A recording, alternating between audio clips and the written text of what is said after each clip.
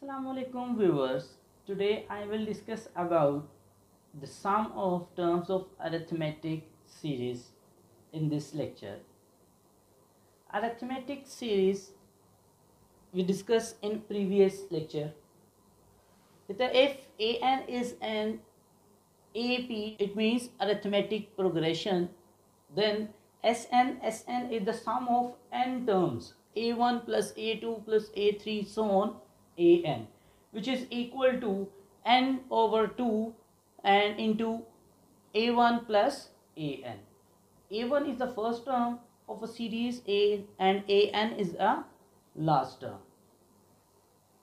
If we put the value of an which is discussed in previous lecture also then this formula is can written in form this one Sn is equal to n over 2 and 2a1 plus n minus 1 into d. This formula is used when first term and last term of series is given. And this formula is used when series is given but last term, the value of last term is not provided. So, these two formulas both are for sum of a arithmetic series. But the use of uh, formulas is little bit different from each other. So we find the sum of series.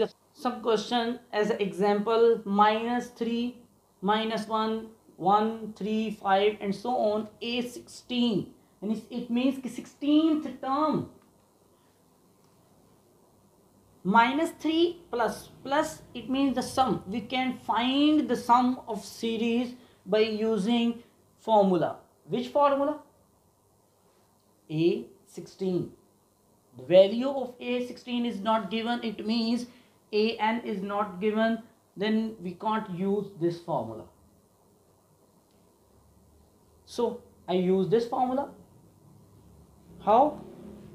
Yes start for this formula we use a n sorry a1 n and d. Three terms are required for solving this. So it means a1 a1 is the first term. So a1 is equal to minus 3 first. Then d is equal to d is a common difference. Common difference means the difference between two terms. Minus 1 minus 3 minus 1 plus 3 which is equal to 2 a1 minus 3 d is equal to 2 and n is a16 16 means total number of terms in this series is 16 so n is 16.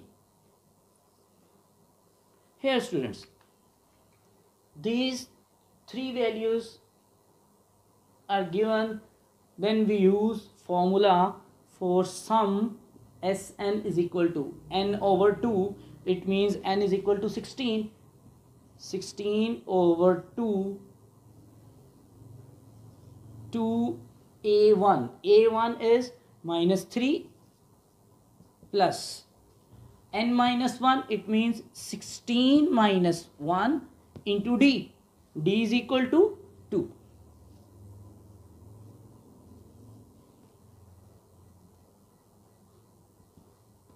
calculate then. 18 divided by 2 is equal to 8 2 multiply 3 6 6 minus minus 6 plus 16 minus 1 15 15 into 2 calculate this. 15 multiplied to 30 30 minus 6 24 8 multiplied 24 is equal to 292 192 is the sum of series which is given. So students this is called the sum of series and these two formulas are used for sum to find the sum of a term in arithmetic progression. And uh, first question is this and then second question you can see on board yes students. You can see the second question find the sum of series 1.11 it means decimal data plus 1.41 plus 1.71 plus and so on up to 10th term. 10th term a10 10th term it means n is equal to 10 and then first value is 1.11 then we can find the difference common difference common difference. Second term minus minus first term which is equal to 3.0 and uh, by using the second formula of sum we can put value in this formula. You can see multiplication difference plus minus and then finally result is 24.6 this is the sum of a, this arithmetic progression. I hope you understand this question. If you have any problem about this topic then you can mention in comment and we will discuss in next lecture. Thanks for watching. If you like this lecture then like it and subscribe also. Take care students. Allah Hafiz.